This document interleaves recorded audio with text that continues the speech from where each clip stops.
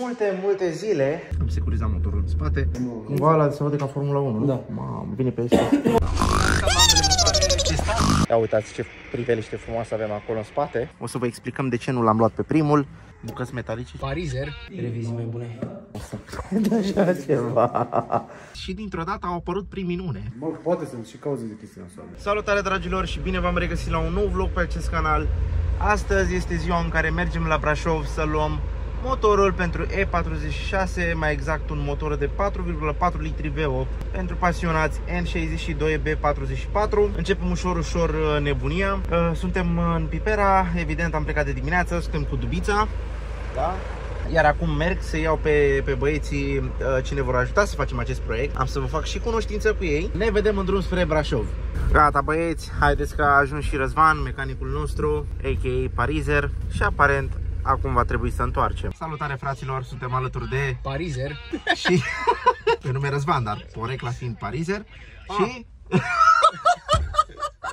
și suntem alături de Andrei. Andrei. Echipa Robilds, practic. Echipa Robuilds, în sfârșit v-am făcut cunoștință cu oamenii ce se vor ocupa de al nostru proiect. Da? Noi deja suntem în drum către Brașov să luăm uh, motorul și iată că uh, se leagă chestii, fraților. Uh, nu aveam paleți și dintr-o dată au apărut prin minune.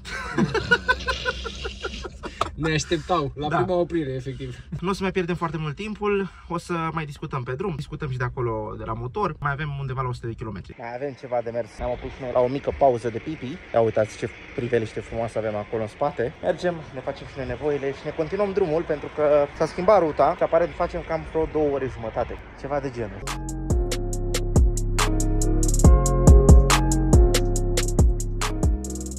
Și iată că am ajuns.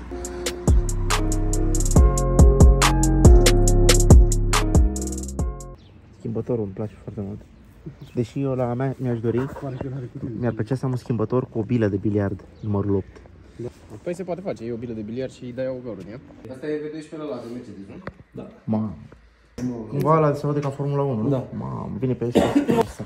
Așa ceva.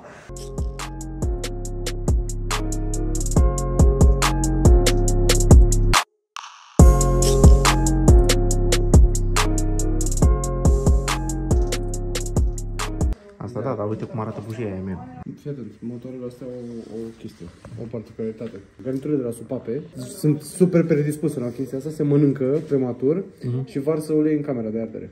Se întâmplă fix asta. Cum să zic, e problematic, adică trebuie schimbate în cazul în care pățești asta la o mașină cu motorul ăsta, dar ceea ce noi oricum o să facem. Deci nu e neapărat dezastru.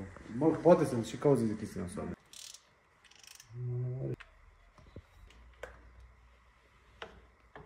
Dacă e chip filtru și așa, luăm și cutia de E60. Nu știu cum se potrivește pe 46, că pare foarte mare.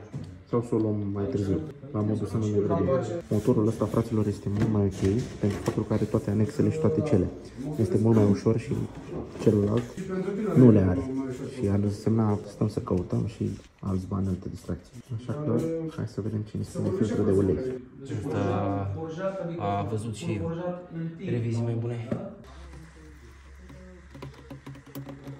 Arată rom. Arată a filtrul normal, nu? Normal ce ar trebui să vedem? Bucăți metalice, ceva? Chestii care lucesc, da. Da, e varză filtrul ăsta, adică se dezintegrează.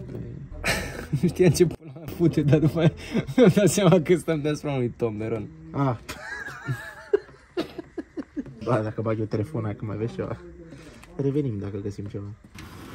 Ne-am hotărât să luăm și motorul, dar când ne urcăm uh, în mașină. O să vă explicăm de ce nu l-am luat pe primul și l-am luat pe celălalt cu mai multe fire pe el. Bun.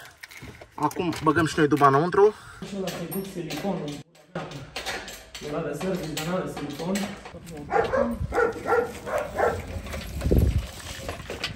Acum îi dăm la...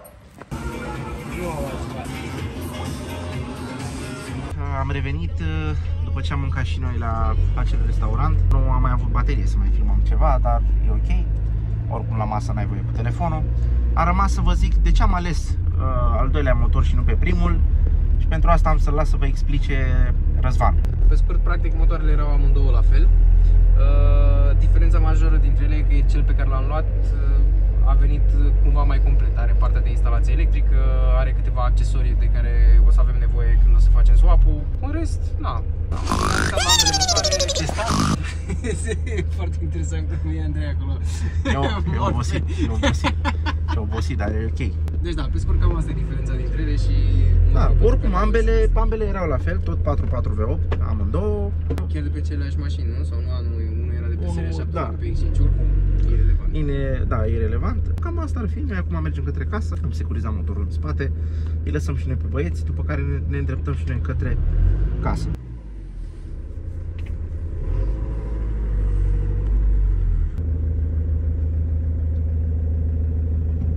Multe, multe zile după ce am uh, adus motorul la casă, da? Și ia priviți-l unde stă.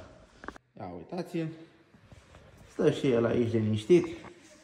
Da? Și așteaptă să fie pus pe vestiuța noastră. Tati, să fii pregătit. Uh, pregătită, nu știu, în fine. Cam asta a fost vlogul, fraților. Vă mulțumesc frumos pentru vizionare. Vă rog, dați și voi un like, un subscribe, toate cele, tot respectul și stați aproape pentru că urmează lucruri foarte, foarte marfă.